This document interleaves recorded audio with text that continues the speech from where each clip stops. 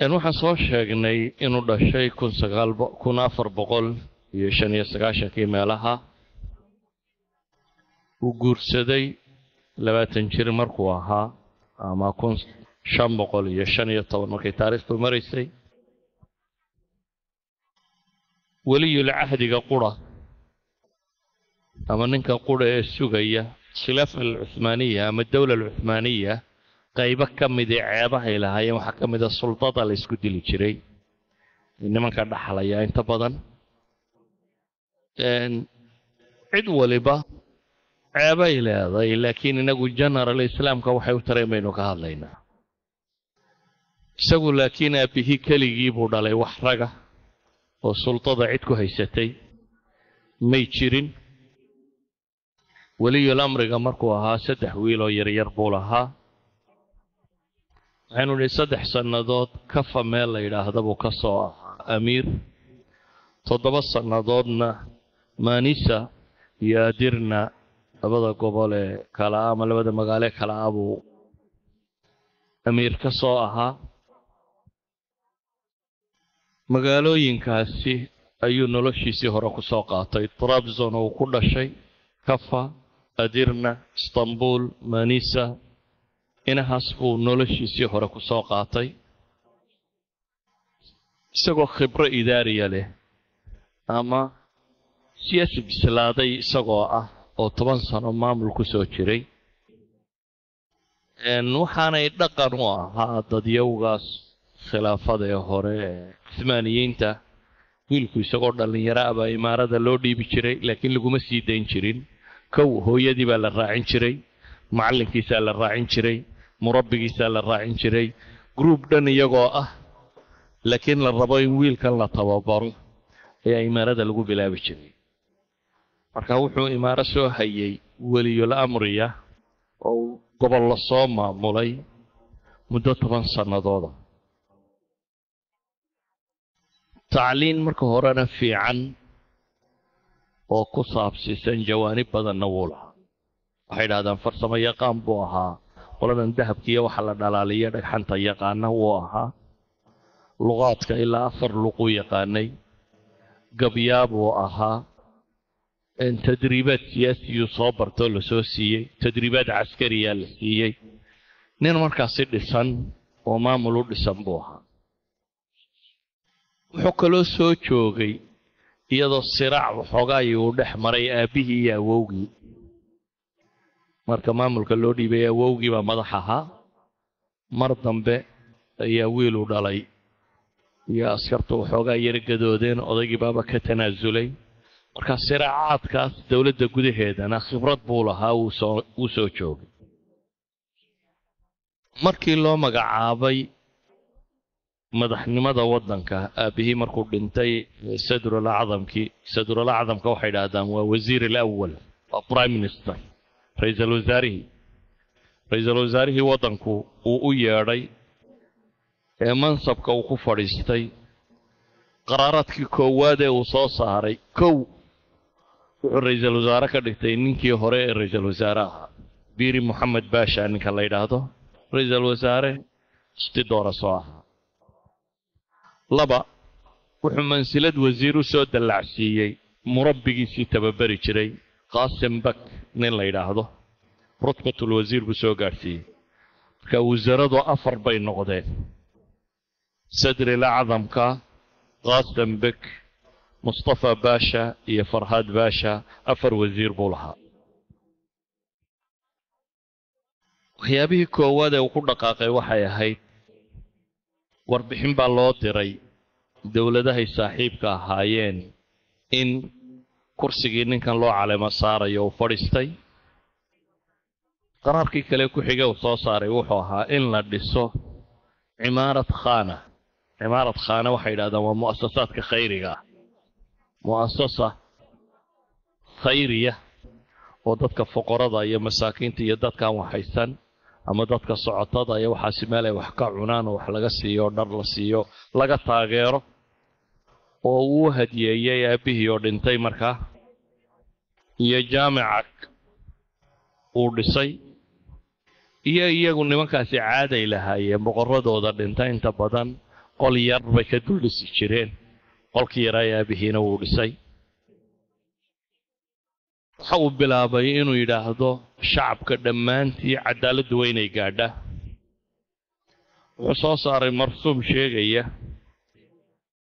aabbihii markuu dowladda qabsaday ee uu ballaadhinayay waa kii safawiyiinta qabsaday caasimadoodii tabriiz la odhan jiray dowlal mamaalikna caasimadoodii qaahiro la odhan jiray buu qabsaday labadaa dowladoodba wuxuu ku soo daray dowlal cuhmaaniya dabeetana labada gobolba farsamo yaqaanadii joogay wuu soo qaaday lix boqol ilaa siddeed boqol oo farsamo yaqaan ama injineer iyo umara buu soo kaxeeyey oo uu istanbuul keenay odaygii hore ninkani markuu meesha qabsaday dhammaantood wuxuu fasaxay nin waliba meeshii uu rabay ama meeshii uu deganaa inuu ku noqon karo.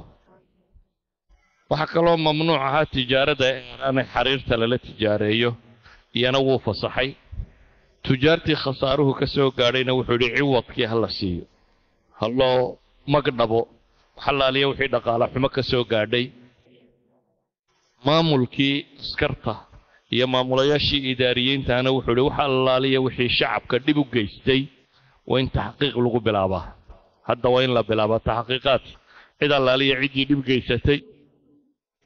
Tusaale ahaan jacfar bak nin la odhan jiray oo ciidamada badda haysan jiray oo sanjaqa khaliiloobi khaalibuli la yidhaahdona madax u ahaan jiray baa ka mida raggu ku bilaabay jaraa'im waaweyn baa ku caddaatay bay yidhaahdaan dil baa lagu qaaday. Markii dabeetana novembar ba waa la dilay. Waxaa ka mid a nimankii xukaamta ahaa iyo gobollada ama hareeraha sanaajiqda haysaystay qaar ka mid a masala nin la odhan jiray brisren oo lagu soo eedeeyey dad xora inuu iibiyey. Intuu dad xora qabtay inuu cabiid ahaan u iibiyey. Kuwaana waa ciqaabay waxaa la soo sheegay silaaxdaarka silaaxdaarka waa ciidanka qalabka sida rag ka mid ah oo bulshada dhib u geysan jiray inay jiraan. Dhammaantood kuwaasoo dhanna ciqaab ha la wada mariya buu yidhi. Wuxuu soo saaray inuu oggolaado boqorkii ugu dambeeyey dowlal cabbaasiya ee qaahira fadhiyi jiray magacyaalka iska ahaa.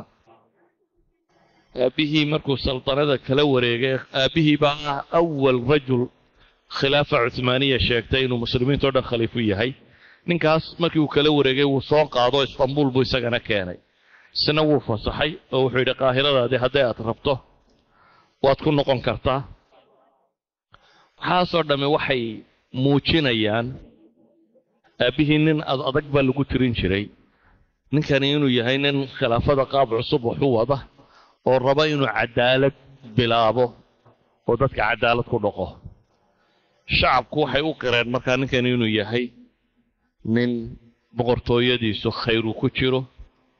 Idaariyiintii iyo dadkii maamul yaqaanka waxay ku qanceen. Nin yar inaanu ahayna nin wax maamuli kara inuu yahay. Markuu idaarada qabsanayo waa nin shan iyo labaatan lix iyo labaatan meelaha jira. Marka uu boqorka noqonayo. Laakiin laba biloodba intii aanu joogin. Waxaa bilaabmay nin tamarud sameeyey siyaan dowladda ku sameeyey. Jambardai khazali jambardai wuxuu ka mid yahay dadkii yurubiyanka laga soo qafaashay waagii hore meel dalmasiya la yidhaahdo. Waa yugoslaafiya gobol ka mid ah. Dalmasiya ayaa laga keenay.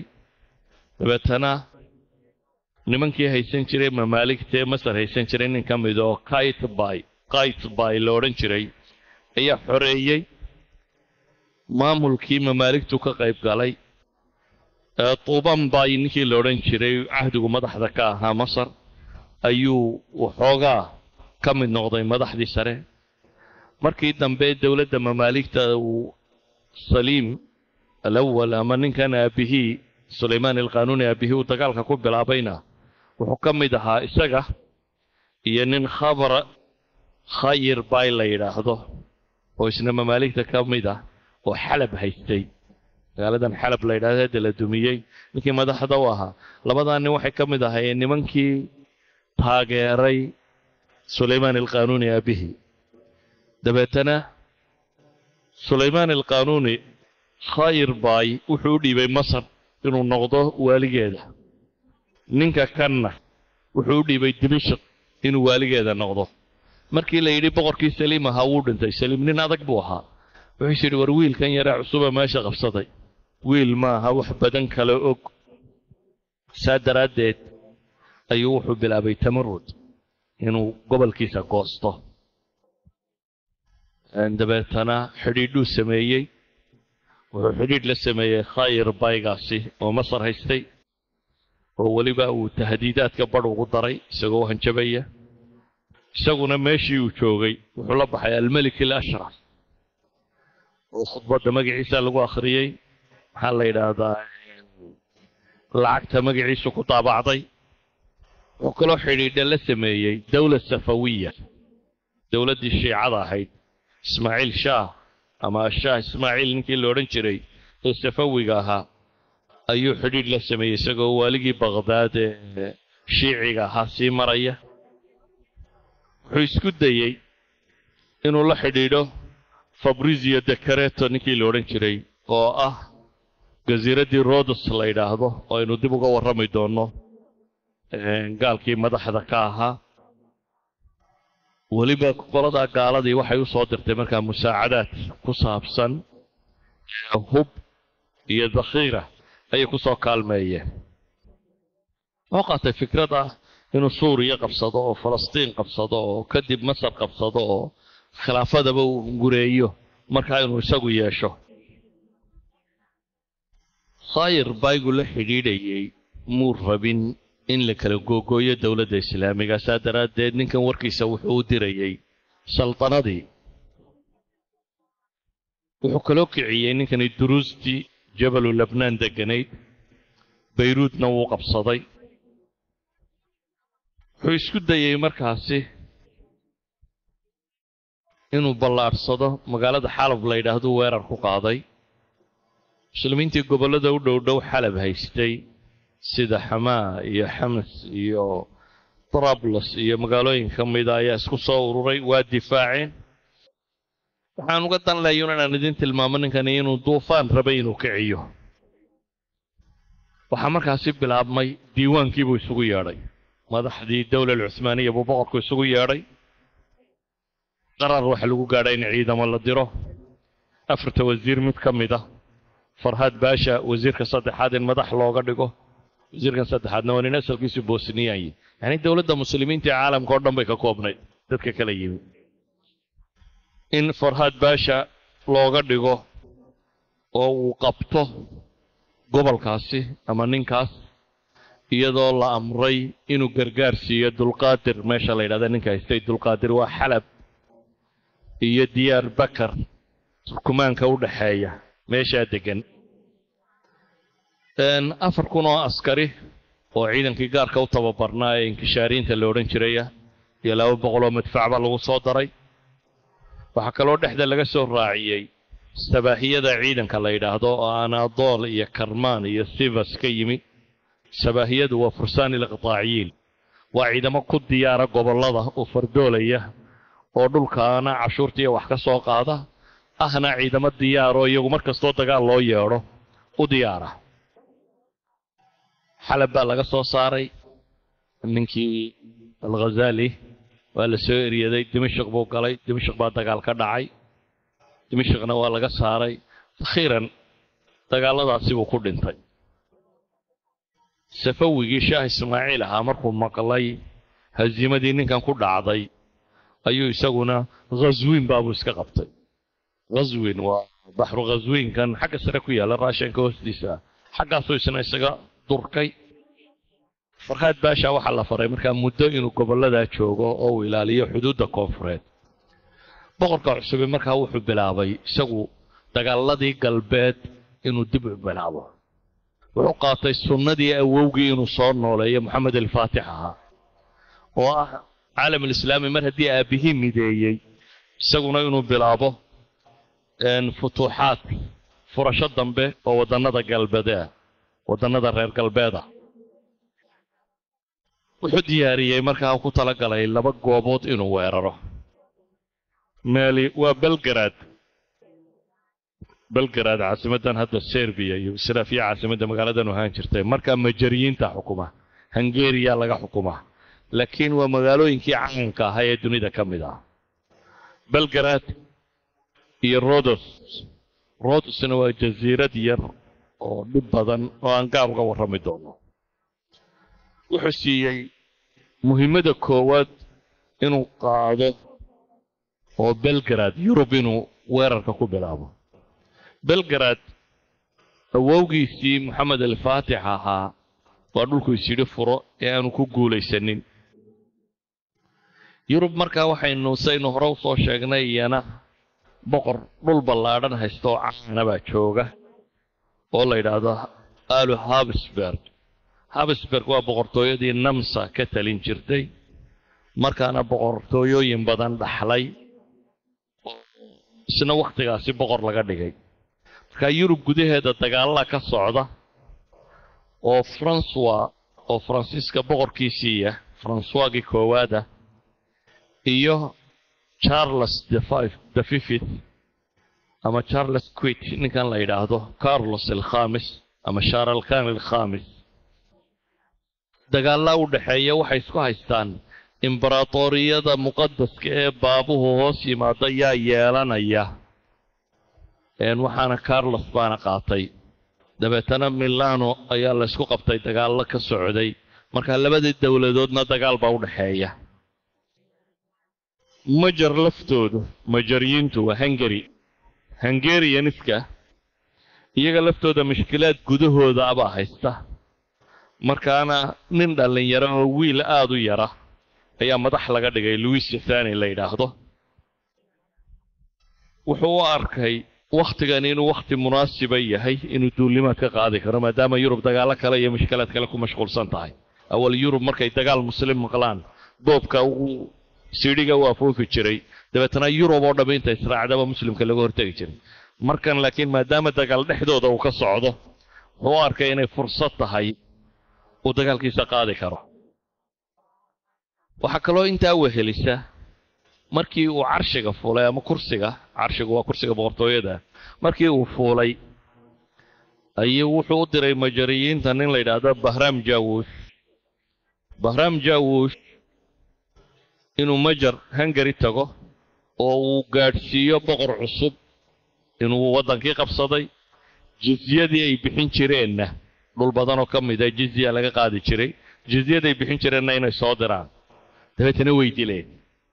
Rasuulkii uu dirayna waa la dilay. Intaasi markii ay dhacday ayuu farhad baasha ninkii uu xaggaa u diray wuxuu amray koonfurta ama xuduudda koonfureed inuu ilaaliyo oo isagu dhankaasi joogo boqorka na inuu ciidamada kale oo dhanka haysto. Ciidamada buu ururiyey geel aad u tiro badan baa la soo ururiyey. Cataadkii kale hubkii kale baa la ururiyey. Qaybta yurube romali la yidhaahdaa la isugu wada tegey wuxuu amray afar boqol oo doonyood in la sameeyo oo lagu qaadayo ciidamada iyo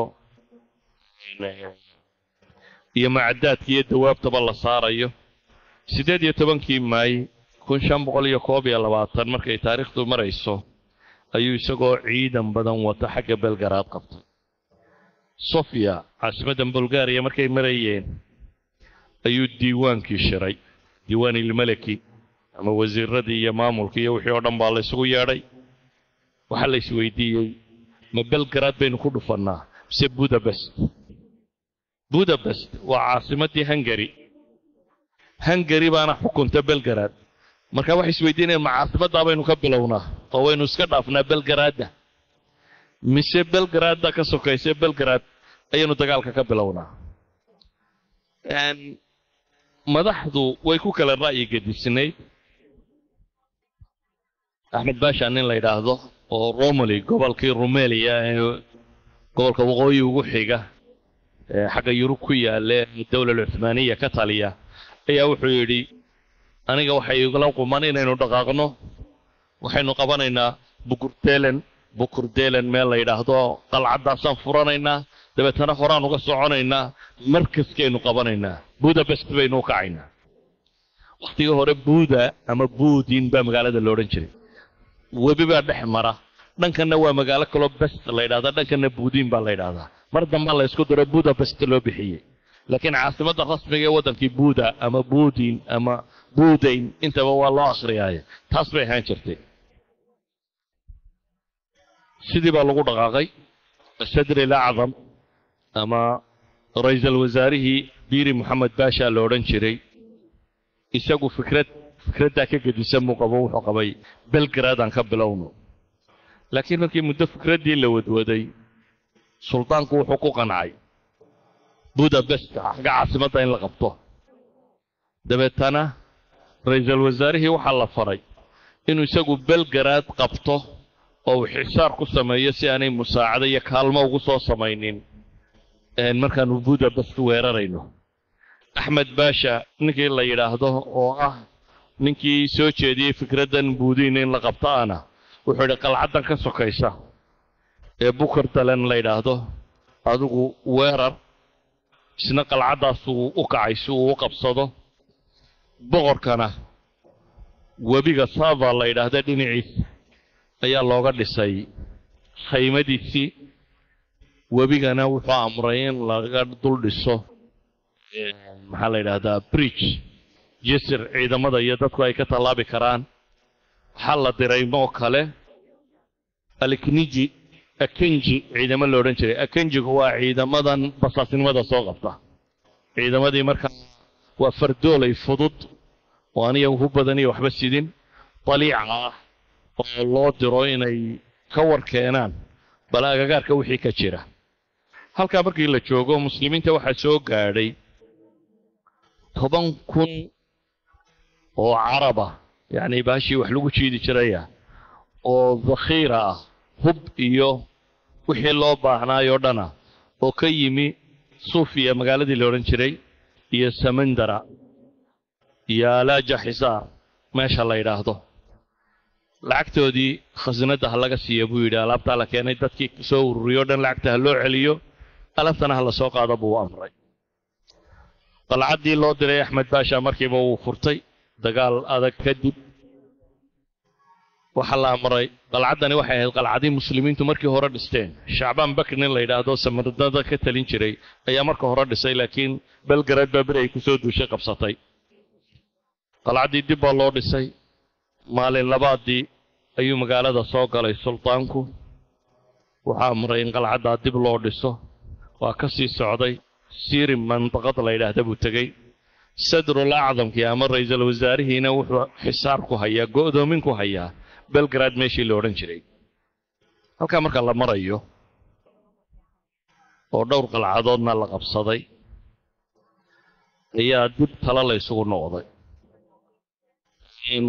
Wasiiradii nin ka mid oo mustafa baasha la yidhaahdo iyo nin kale oo isna ka mid a quwaadda ama ciidamada raggii waxooga badnaa ayaa waxay yidhaahdeen annaga taladan budapest lagu socdo waxa nagala fiican tii aynu ku soo baxnay belgaraad ahayd inaan belgaraad aan qabsannaaba nagala fadli badan.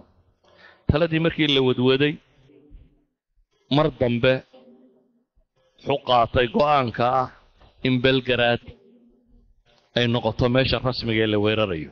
Belgaraad awalba xisaar bay ku jirtaa ra'iisul wasaaraha xisaar ku sameeyey oo waxaa laga cabsanayey budapest marka lagu socdo inay iyagu soo hiiliyaan marka waxaa la yidhi intaynu budapest qaban lahayn horta tanaan furanno iyo inan dhaafin tanaan xisaarka ku hayno ee belgaraad hala furo belgaraad baa xisaarka lagu adkeeyey weerarkaa lagu qaaday qalcadda meelo ka mida baa lasoo dalooliyey godadintay qodeen baa baaruud lagu guray dabeetana waa la qarxiyey qaybo ka mid ah waxay yaqiinsadeen ciidamadii gudaha ku jirtay markaa weerarka ku socda inaanay xejin karin magaalada dhanna madaafiic baa lagu garaacayaa dhanna waa la qarxiyo inta godad la soo qoday baa miinooyin lagu qarxiyey. Inaanay xejin karin magaalada. Dabeetana shan iyo labaatankii ramadaan sagaal boqol iyo toddobiyo labaatankii hijiriyada oo ku beegan xawaalay sagaal iyo labaatankii ogost kun shan boqol iyo koob iyo labaatankii ayay isdhiibeen waxay aqbaleen inay furaha magaalada keenaan oo ay isdhiibaan maalin labaadii ayuu magaalada galay suldaanku kiniisadii caanka ahayd ee meesha ku taallaa masaajidka loo beddelay salaaddii jimcaa lagu tukaday ciidamadii iyo idaariyiintii iyo raggii meesha marayay baa loo qaybiyey derajadii iyo hadaayaadkii iyo wixii ay lahaayeen. Reer belgarad magaalada markii la qabtay wuxuu oggolaaday ciddii doonta inay iska tagtaa way tegi kartaa. Ciddii rabta inay magaalada deganaataana jisyay bixinaysaa way deganaanaysaa magaalada markii la qabsaday? Waxaa la yidhi ciddii rabta inay deganaato cashuurtunbay iska bixinaysaa jisyada ciddii rabta inay iska tagtaana waa fasaxantiin waa iska tegi kartaan. Dadka badh baa ka guuray laakiin xaggii yurub umay sii guurine istanbul bay u guureen. Xafad baa jirta imanka istanbul ku taallo oo magacyadii bulgariyankaas kaa leh oo ay waagaa ka soo guureen. Badh baa waxay isaga soo guureen iyagu inay istanbul degaan wixii meesha ku hadhayna waxay aqbaleen inay jizyada bixiyaan. Boqorku markaa waraaqihii guusha buu ciidamadii muslimiinta ka dambeeyey u diray. Magaaladiina waxaa lagu reebay nin amiira wax kaloo uu boqorku bixiyey labaatan kun oo dahaba oo uu yidhi magaalada dib ha loo dhiso. Cimaara khaankii meelihii masaakiinta wax laga siin jiray ha la dhiso jaamic weyn ha la dhiso ciidamada ku hadhaya na waxay u baahnaayeen baa loo dhigay. Waa guushii koowaad ee markaa ninkan dhallinyarada ahi uu soo hooyo magaaladii belgrad caasimadda waddanka yugoslaviya hadda la yidhaahdaa ama serbiya ah ayuu markaasi gacanta ku dhigay. Kadib ayay dib u soo noqdeen. Wakhtigii shitaaga ama khariifkaasii dhammaanaya markaa dagaalama geli karaan waa qaboobihii baa soo dhacaya. Dib uu soo noqday dariiqa dhexe markuu soo socday ayaa waxaa loo sheegay oo aanu adarnaba soo gaadhin.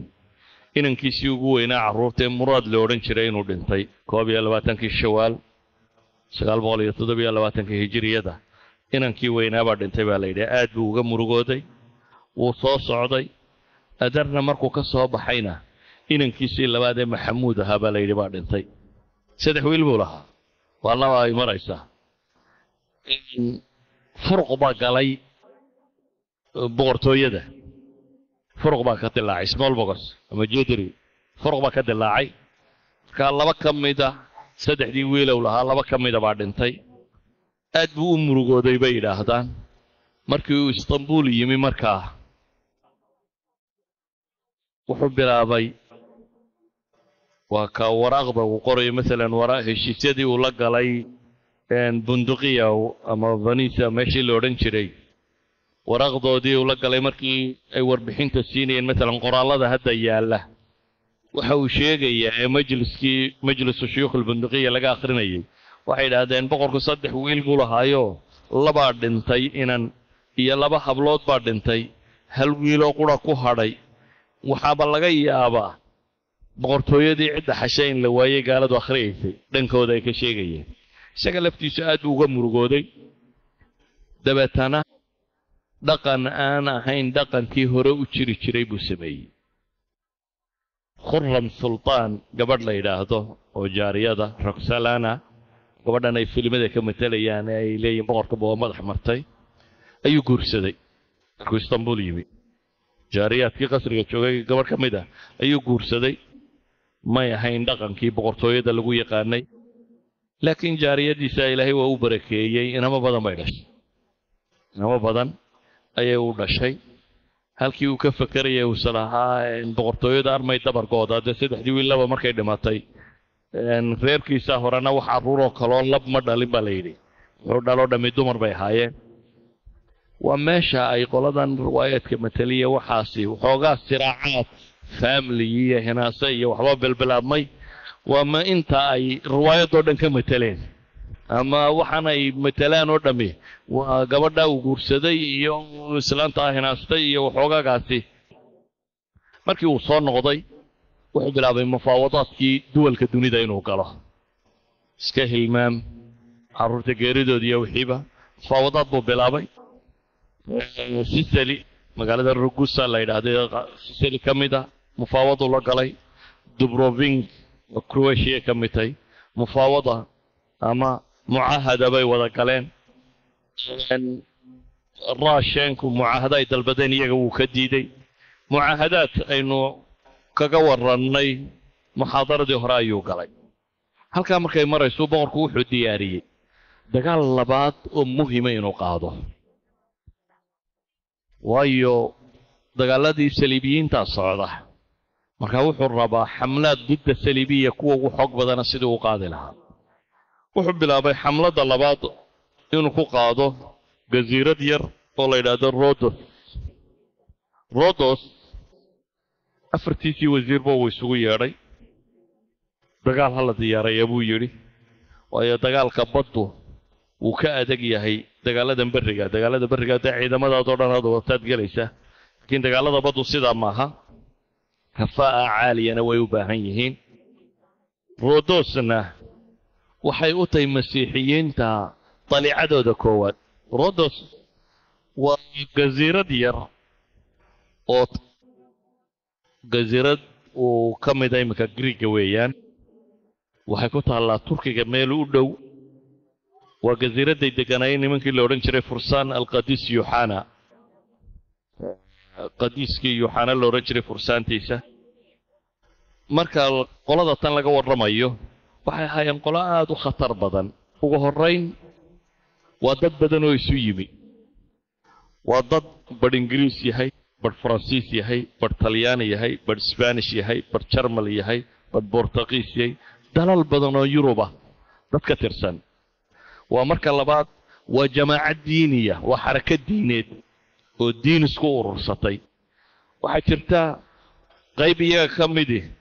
night temblarka qoladii la odhan jiray night temblar waa xarako diiniya oo masiixiyo caan ka ahayd yurub oo laba qarniba dhaqaalaha yurub gacanta ku hayn jirtay markii dambe boqorrada yurub mid ka mida bay isdileen oo laayay oo xidhxidhay ilaa hadda dadka badh baa leh ururadan sida maasuuniyiinta iyo waxaan sirrigaabay ka tirsanyihinba hadda lagu tilmaamaa dadka badh waa fursaanul haykal nimanka la yidhaahdo waa dad waagaa hore sheegan jiray askar foqoro ah oo masiixa iyo macbadu sulaymaan baanu soo celinaynaa. Haykalkii sulaymaan iyo ciisaanu u dagaalamaynaa bay rumaysnaayeen.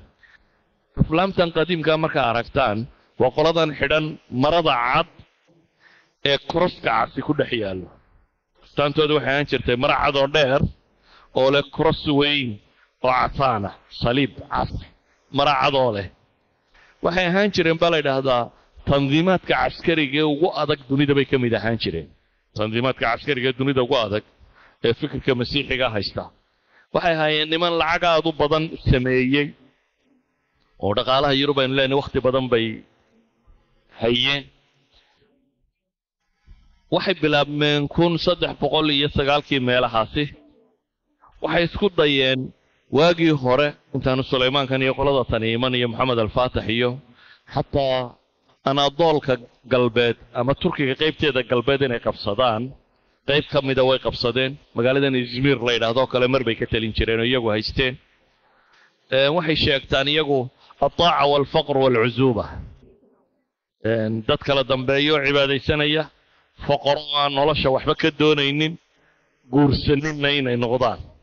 Hadafkooda asaasigae berigii hore ay samaynayeenna waxay ahayd hosbitaal dharkaa la odhan jiro masiixiyiinta baytalmaqdis u soo xaj taga ee xanuunsada ama dhibtu ku dhacda ama waxaasaanu dawaynaynaa caynkaa laakiin wakhtigan markaa hadda la joogo baytulmaqdis waxa haysta muslimiinta. Ma tegi karaan. Dabeetana waxay dhahdeen doonyaanu samaynaynaa. Aanu ku dawayno dadkaasi laakiin akhiiran waxay isu beddeleen budhcad koox doonya haysata oo dagaalyahana oo budhcada oo mediterranean seagoo dhan wixii doon maraysa nafta isugu keena. Waxay kaloo iyagoo aad u xooggan habarqabihii taymur link markuu dawlal cismaaniya baabi'inayay buu iyana ka qaaday turkiga intii badnaayay ay deganaayeen oo taymur link baa markii hore jajabiyey. Laakiin waxay ku hadheen budrum magaalo xeebeed la yidhaahdo uu leeyahay turkiga oo galbeedka ku taalla bay ku hadheen oo meeshaasay qalcacaan oo qalcaadka la yaqaano ah ay ka dhisteen. Dowladdii atraagtee horena itifaaqiyaad bay la galeen. Waxaanay ahaan jireen nimanka badbaadiya usquulka baxriga ee saliibiyiinta ah ciidamada badda ee saliibiyiinta ama kiristanka ah niman badbaadiya isla markaana wixii qaraasinaa wixii budhcada ee muslim boobayana waa la soo hoyn jiray. Oo jasiiradda markaad tagto wixii aad la gasho dee waa budhcadnimaad ku soo qaadatay. Dadka kalena ma soo geli karaanoo dee ciidamadooda nimankan baa jooga. Marka budhcad waddan yaroo budhcadka loo sameeyo budhcaddaa wax soo boobta ayuu noqday. Xataa moxamed alfaatix markuu qustantiniya furtay ninkii koowaad ee istanbul furanayey moxamed alfaatix markuu istanbul furtay kadib dagaallay bunduqiya wada galeen. Dagaalladaasi waxay caawinayeen qolada tan. Bunduqiya markuu heshiiska la galay iyagu weerar ku qaaday oo nin masiixu baasha la yidhaahdaba u diray. Laakiin kumuu guulaysanin inuu furto. Nimankani markaa asbaabo badan daraaddood kow dowlal cuhmaaniya col bay la ahaayeen iyo muslimiinta dhammaantoodba. Oo budhcaddaa dee meesha dhacaysa bay ahaayeen.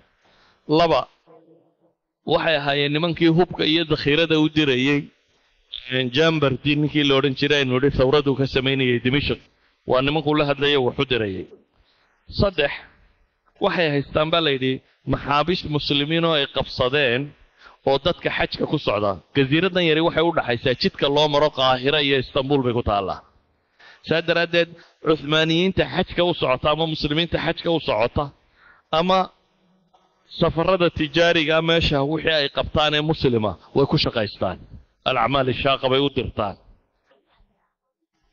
waxay kaloo sameeyeen mashkilad kaloo ah cuhmaaniyiinta maadaama ay loolan kula jiraan wiil ku abtirsada cuhmaaniyiinta oo dadka badha yidhahdaan kristan baabuu noqday ayaa waxay yidhaahdeen waa amiirka waddanka ah isagaanu garab gelayna la dagaalamayna wiilkan waa waxaa la yidhaahdaa muraad ibnu jam jam jam waa ina moxamed alfaatix wuxuu walaalo yahay bayaziid bayaziid athani بيزيد ثانينا. وابقر كرين كو رمينا اووغي معناه دو حويان مراد كان يبا المادر رماء. سلمان الق... سليمان القانوني أبيه سليم. سليم واين ايو هنا با يزيد يعني ابن محمد الفاتح. كان قال الشيخ أنا هو مراد ابن الجم ابن محمد الفاتح. حيث كيري هلك كان.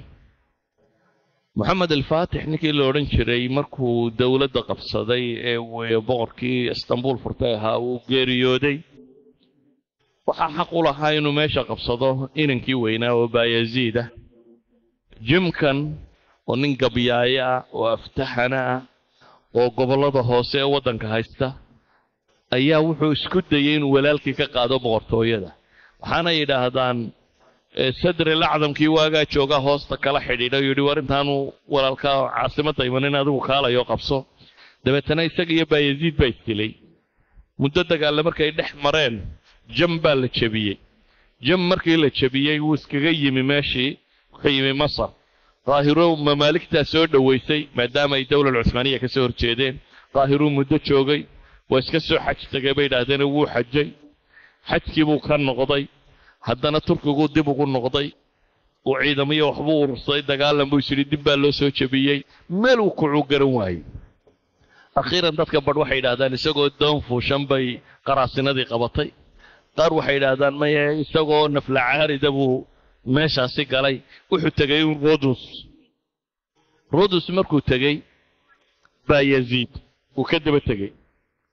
Nimankan meesha jooga iyo bayaziid heshiis bay galeen inaan laysku duulina. Waa kow. Laba.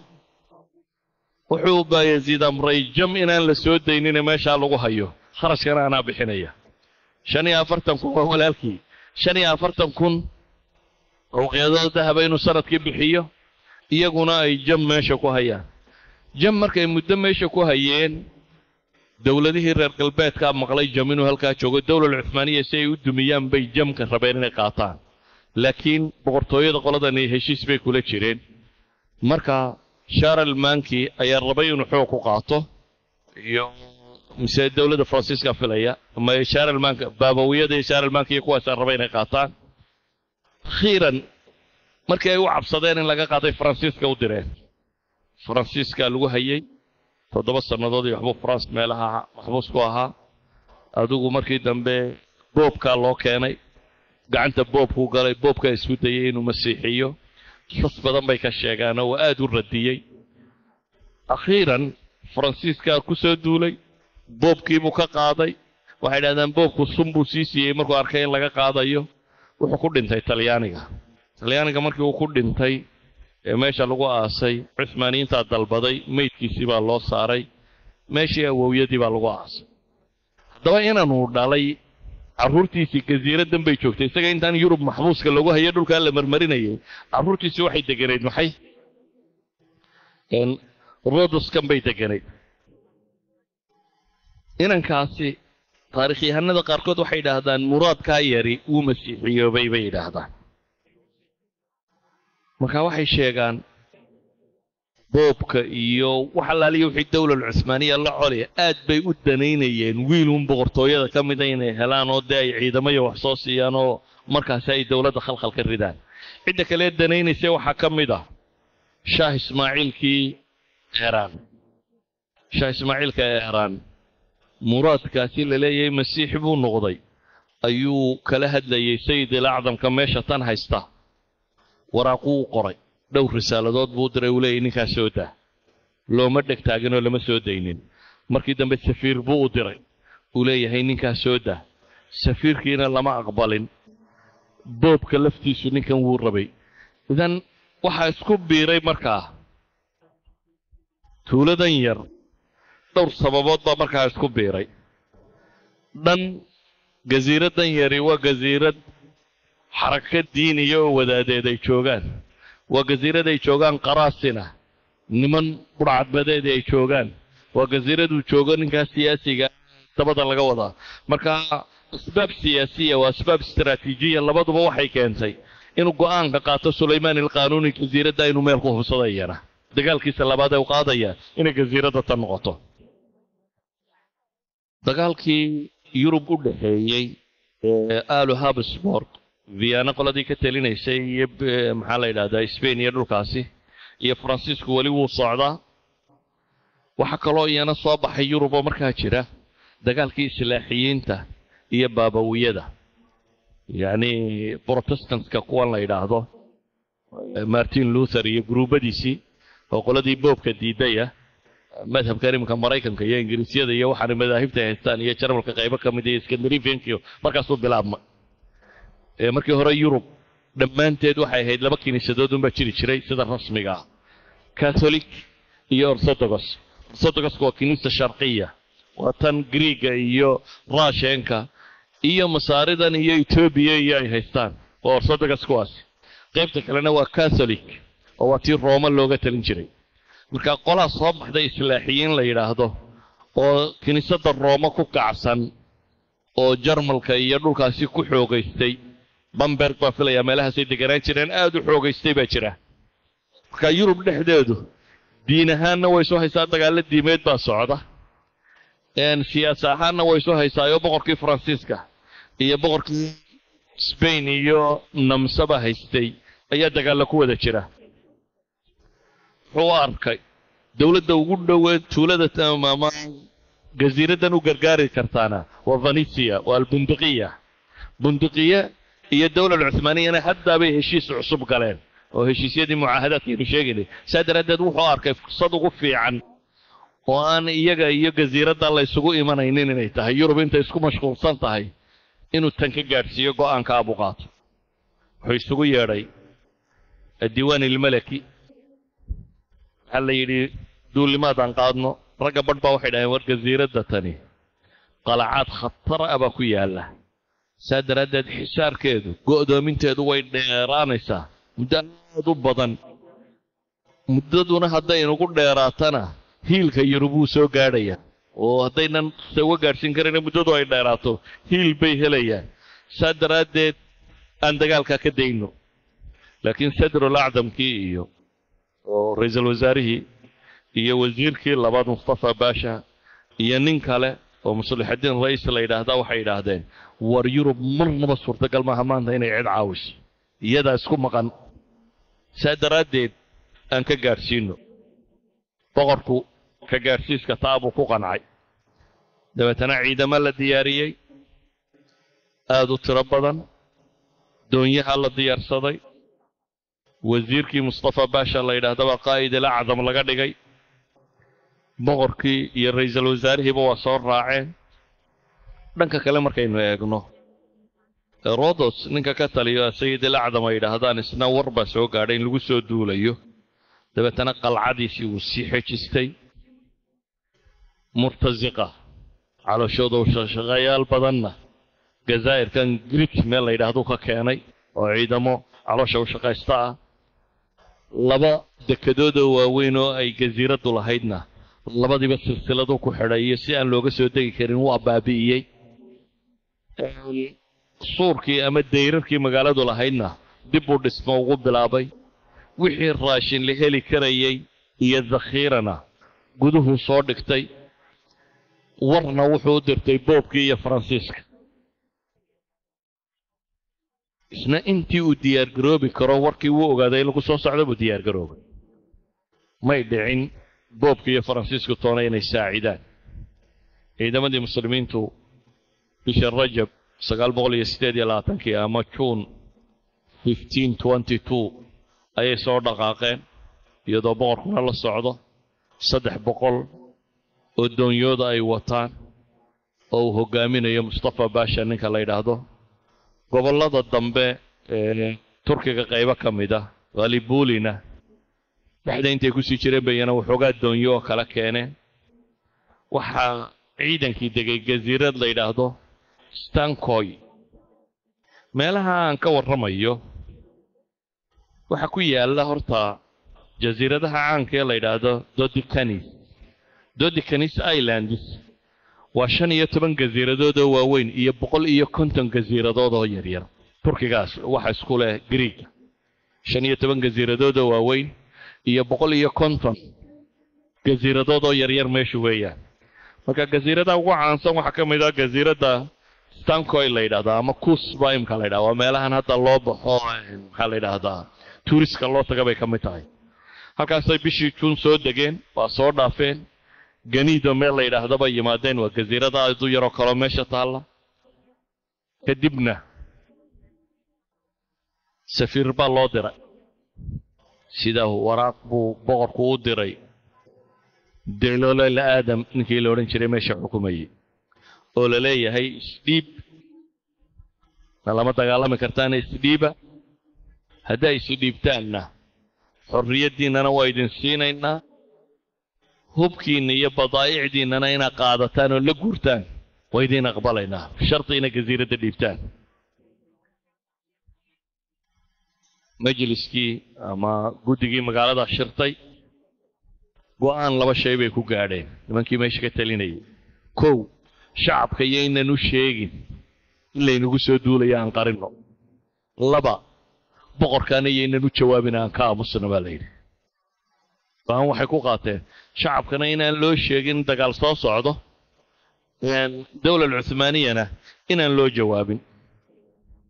Afar iyo labaatankii juun ayaa usquulkii cuhmaaniga ah wuxuu soo gaadhay valanova meel la yidhaahdo oo labiyo toban mayl u jirta rodos ciidamadii muslimiintu waxay bilaabeen inay go'doomin u diyaargaroobaan nimankan inay go'doomiyaan doonyo khafiifa loo soo saaray oo ciidamada ku roga jasiiradda qaybo ka mid a boqorkii marmaris meesha la yidhaahduu soo gaadhay kadibna soo gaadhay inta halkaa la marayo boqorka war baa soo gaadhay ah farhaad baasha wasiirkii la odhan jiray uu kaga yimi meeshii nin nimankii madaxda ka mid ahaa oo isyaan sameeyey inuu dilay waxba umuu sii dheg taagin boqol madfac baa la rakibay boqol madfac baa laba maalmood gudahood lagu keenay jasiiradii dagaalkii baa bilaabmay mudduu socday waxaa suurtoobi weyday magaaladii in hore loo furto ay magaalada tan kristanku waxay odhan jireen laa yastatiicu fatxa abwaaba rodos ilaa ahla rodos bay odhan jireen albaabada yada annaga mooyaane cid kale ma furi karto meel aad loo ilaaliyey ayay ahayd weliba nin muhadisiintii bundaqiya ka tirsanoo caana na wuxuu u sheegay farsamo kaloo ah qalcadda gudaheeda meelaha ku dhodhow in godad la qodo si loo arki karo wixii khanadiq ee la soo qodayo. Ciidamadoodii meesha joogayna waxay isu qaybiyeen afaf. Wixii af ingiriis ku hadlaya meel baa layidhi ka dagaalgala. Wixii talyaani ku hadlaya meel baa layidhi ka dagaalgala. Wixii faransiis ku hadlaya meel baa loo saaray. Wixii spanisha wixii almaniya wixii bortugiisa wixii brovanisa brovanisku waa falamangahan belgium ka tirsan. Waa la kalaa intii isku afaba qayb baa la geliyey muddaa meeshii ay socotay go'doomintii waa loo taag waayey. Sadril acdamka ayaa wuxuu yidhi kiisas ciid ha lagu shubo oo ha la dheereeyo dabeetana niman qorya sita xagga sare ha la saaro bal nimankan ha la toogtoogto wixii inna in la geli karo. Xoogaa najaaxa guul way yaro keentay laakiin may suurtoobin.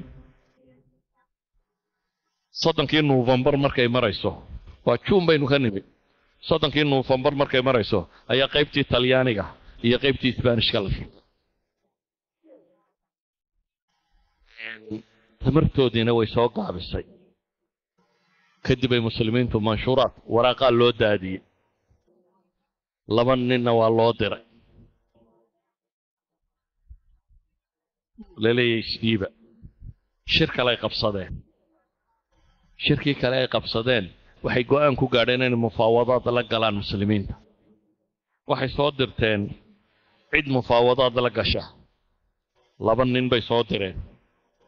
Waxay idhaahdeen kow xabad joojin aan samayno. Afar maalmooda kadibna aan mufaawadaad ka gallo. Suldaanku wuu ka aqbalay. Kuwii uu soo dirtay waxoogaa intay indhaindheeyeen bay ku noqdeen meeshiiyo waxay yidhaahdeen turkidu way liidataa aad baa khasaare badan baa soo gaadhay bunduqiyana safiine ka timi oo boqol laatiina sida iyo cunooyin iyo waxaasaa inoo timi dee nimanku waxbay naga qaadi kari maayaane isxijinna bay ku celiyeen waxay ku tala galeen inay inta ciidamo kale iyo wax ku kale ay helayaan inay dheereeyaan muddada kolba safiir soo diraan boqorku wuu fahmay markaa dabeetana wuxuu ballanqaa wuxuu yidhi weerarka ha la bilaabo. Weerarkii baa dib u bilaabmay waa adkaatay.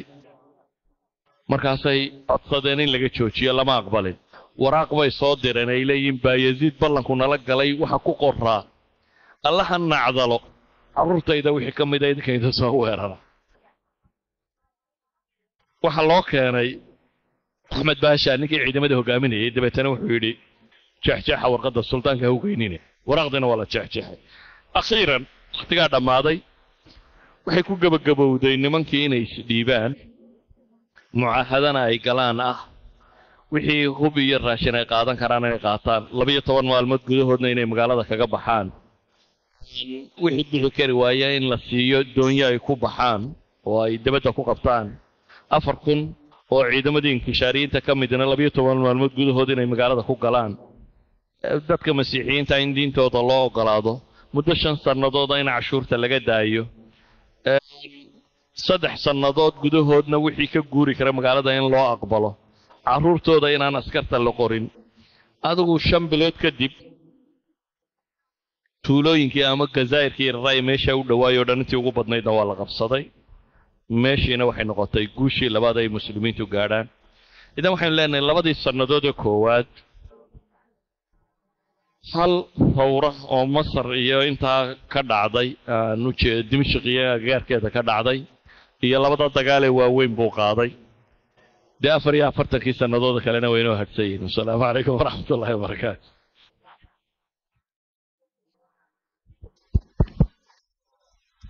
jazaaka allahu khayr sheekh mustaf kollaytaba nin taariikhdiisa afartan iyo lix sano jihaad ku jiray oo yurub barkeed furtay eshiya iyo afrika.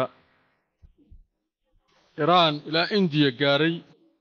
Waxay u baahan tahay waan u malaynayaa soddon habeen. In habeenkiiba saacad haddii la qaato. Soddon muxaadare u baahan tahay? Mar kollaytaba waxay la tahay intaan ujeeddada waxay ahayd runtii ninkaas suldaankaas suldaan salmaan alqaanuuni taariikhdiisa in duruus iyo cibar badan baa ku jirta sheekha waxaan jeclaa su'aalaha runtii bay ka mid ahayd. Qof baa wuxuu soo yidhi cashirka aan ka qaadanayno ninkaa cajiibka ah sheekh mustafow ma noo sheegi kartaa laba saddex qodob. Fadal kow waxay tilmaamaysaa muslimiintu hadday midoobaan inay cid walba iska dhici karaan. Oo waxa dhacday dowlad saliibiya muslimiintii joogay spain ee siddeed boqoloo sannadood deganaa way ka soo takhalluseen. Ilaa iyo indiyay dagaal ku qaadeen iyo maxaa la idhahaa indonesiya xeebtan afrikada bari oo dhan way qabsadeen. Ilaa iyo etoobiya inafusko dhagaamo ka dagaalamayay oo bortugiisa baxrul axmar iyo dhulkan oo dhan way qabsadeen. Siday u qabsadeen baa isweydiintane waxay u qabsadeen sidaynu hadda inagu nahay ayay muslimiintu waaga ahaayeen. Soo innaga reer barrer kuma mashquul aha. Miyaynu cid kale aragnaa cadow kale inooma muuqda inagu muunimba ninkan ku xiguunbu iska celinayay saasay muslimiintu waxay soo gaadheen midbaka ku xigay inuu iska celiyo. Idan ninka kan sulaymaan alqaanuuni aabbihii baa dib u mideeyey caalamulislaam intii ugu badnayd. Midayntaasi waxay keensatay sulaymaan alqaanuunina inuu yurub dib u furto.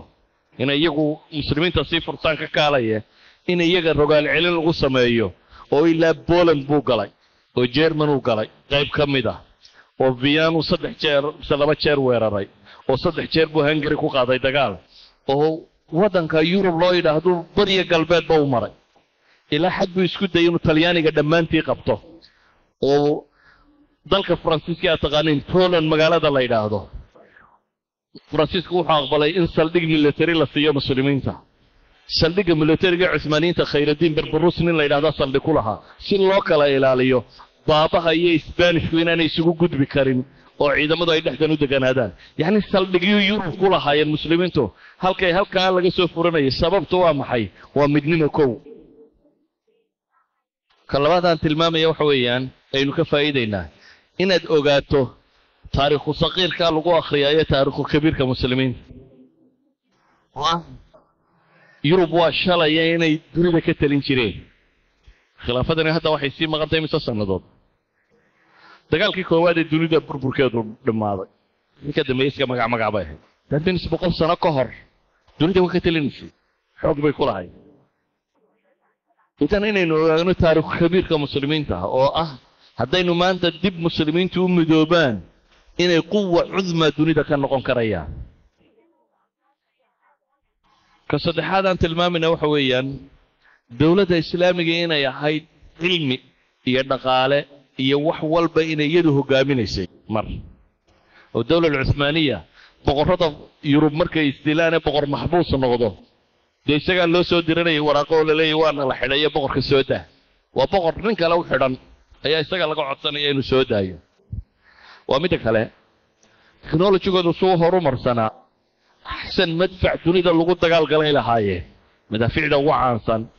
That's why ay qalcad kasta u dumin karayeen ama u furi karayeen. Waxay lahaayeen madaaficana idan si kastoo loo eego aqoon ahaan bay hogaaminayeen siyaasad ahaan bay hogaaminayeen addawla alula fi lcaalam bay ahaayeen laakiin waa goormo bay leenahay waa markay muslimiintu midowday. Macnaheedu maaha inay sidii saxaabadii oo kale ahaayeen akhta'dooda u wateen iyo gafafkooda. Laakiin waxay tilmaamaysaa maca gafafkaaga adigoo wata inaad wax jira noqon karto. Hadday ummadda muslimiinta dib u midowdo. Su'aasha labaad limaada sumiya cuhmaaniya dowla alcuhmaaniya dowlad cuhmaaniya waxaa loogu bixiyey ninkii koowaad ee bilaaba waa artaqral ninkii la odhan jiray magaalada ninkii galay. Waa daawateen baan u malaynayaa filim qoladan islaamiyiintii samaysatay oo qiyaamatu artaqral la yidhaahdo oo markay qolada cilmaaniyiintii soo saartay ka hore xariim sultaan ay qolada kalena waxay soo saartay filim la yidhaahdo qiyaamu ortaqral oo ay kaga warramayaan taariikhdii jihaadiga ahaa ee dowla alcuhmaaniya lagu bilaabay. Cusmaankani waa ina ortaqral markaa ortaqralkaasi dowladda bilaabay inankiisii koowaad ee boqorka noqda ayaa cusmaan la yidhaahdaa. Dabeetna wixii ka dambeeyey waa aalu cusmaan dowla alcuhmaaniya baa loo bixiyey marka. Imise sanay maaragtay haysatay caalam alislaami dowladaasi xawaalay lix boqoloo sanoo dhadhow bay jirtay laakiin marba in bay leekay. Mar anaadool qayb turkiga ka mid oo quray ka jirtay. Mar waa ka ballaadhnayd dee markan ay ugu weynaydna waa marka sulaymaan qaanuun iyo jiraan aynu leenahay waxay ka dagaalamaysay min indonesiya ilaa iyo budapest. Inta ka dhaxaysay dagaal kaga jirtay. Min algeria ilaa iyo baxru khaswiin bay dagaal kaga jirtay. Inta ka dhaxaysa markaanu leenahay dunida ballac iyo dher dhankaad u eegtaba. Marna intaasay gaadhsiisnayd marna dee waxay ahayd dowlad yaroo bilaabantay oo anadool ka talisa. Marka kolba way tawasucaysa laakiin khilaafada islaamiga waxay qabatay ee kow ah saliim oo ah sulaymaan alqaanuuni aabihii baa bilaabay. Alkhaliifa alawal lidowla alcuthmaaniya intii ka horrayse salaatiinun bay sheegan jireen. Laakiin ninka khaliifka sheegtay markaasi waa saliim. Wixii ka dambeeya khulafa ahaa ilaa iyo ay ka dhacaysay. mise ninkii u dambeeyey sultaankii u dambeeyey dowla cuhmaaniya ama alkhilaafa alcuhmaaniya magaciisa taari iyo taarikhda taarikhda waad sheegtay waa kun sagaal boqol labaatan iyo afartii laakiin ninkaa magaciisa ayaan u baahanna labadiis dhalay ugu dambeeyey waa cabdilmajiid iyo cabdilxamiid sultaan cabdilxamiid لسلطان عبد المجيد وقدم به. وحاكل الودين يا شيخ كتبت تاريخ دولة العثمانية اللي كتبت كتبة وقعان سامح منه هي كرتح الدولة العثمانية دا كتب التاريخ هذا بيقوى الرمان. ذات لنا حتى معاصرين هني وحبا دم بيقورين. يعني كان قار باكرة اي هذا التركيد وقرطي وأركيف يدي. Waddankaasi wuxuu wadanadan muslimiinta kaga fiican yahay arkiibyadiisi lama xadina way haystaan innaga caalamulislaami mustacbar baa yimi dabeetana wixii buug iyo kitaab yaallayba uu qaatay marka maktabaadka dunida ugu waaweyn imika waa baris iyo london iyo new york iyo dhulkaasay ku yaalliin waa caalamulislaami wixii kitaab yaallay bay badhna xadeen badhna iibsadeen badhna boobeen laakiin iyagu arkiibyadoodii dowlal cuhmaaniya arkiibyadeedii sidii bay u taallaa hadda waxay dib u bilaabeen taariikh aad u badan baana ku jirta inay qoraal dib ugu sameeyaan. Maalan nin professora iminka jira oo sulaymaan alqaanuuni oo kale kitaab gaara ka dhigay. Magaciisa maxaa la yidhaha kitaabka sultaan sulaymaan alqaanuuni baaba la yidhahdaa kitaabka uu bixiyey. Isaga professor fariidun professor fariidun baa filaya in la yidhaha magaciisa. Marka la eego maalan moxamed cali salaabi ninkan la yidhaahdo kutubta taariikhdiga qorqora dowla alcuhmaaniya suquutaha waa waa ka isna kitaab kale dad badan baa haddaad nadka ku dhufato nadka caadigaa wax badan baad ka helaysa nadka caadiga aad u tiro badan baad ka helaysa laakiin kuwa arkiibyada laga soo qoray baa ugu fiican waayo iyagu waxay ictimaadayaan qoraallo rasmiyo dowladdu ka tagtay sheekh falastiin waxaa ka dhacaya jihaad ma lagu magacaabi karaa هذا وجهي تو واخا دحايا فلسطين حالته فلسطين. قف سو سو قره فرتي سو ان كو اخريانو كل توحنو فهمني فلسطين هذا حالته كجرتا وقتي حاضر كان المسلم ولا قميسن يا قميس فكعني هذا جهاد نغواي حاجة هذا. بيت المقدس حرينتي سادي جهاد نغواي هذه مكيه مدينة لا قبصت حرينتو هذه جهاد نغواي دم حاجة هذا نغنيه إلا ما بيت في سبحات ee muslimiinta bayt almaqdis haddaad dhanka kale ujeeddo dadka niyaddooday ku xidhanta dad qoominimo ku dagaalamaysa waxba heli maysa nebiga markii la weydiiyey ninka magaca doonaya iyo ninka tulka difaacaya ninka caynkan ayuhuma fii sabiili illah wuxuu ku jawaabay man qaatala litakuuna kalimatullahi hiya alculya fahuwa fii sabiili illah min xayثi niya adiga marka lagu eego sax yaa laga yaabaa laakiin adigu inaad ajarba helin haddii aanad dee niyo saalixa wadan iyo iyo dee wixii sharcigu sheegaya haddaanad adigu wadan haddaad qowmi dagaalamayo tabta ama shiici dhulkiisa dhacsanayuna tahay dee haddaad dhulka heshay heshay haddaad weydana weyday laakiin ajar heli mayso baarak allah fiik sheekh jazaak allah khayr muxaadaradaas qayimka oo sheekha uu noo soo jeediyey qaybtii dambeedna caawa aan soo gabagabaynay oo ku saabsan runtii ninkaas sulaymaan alqaanuuni. Ilaahay subxaana wa tacaala ha nagu anfaco. Waxaan yar waxaan ku darayaa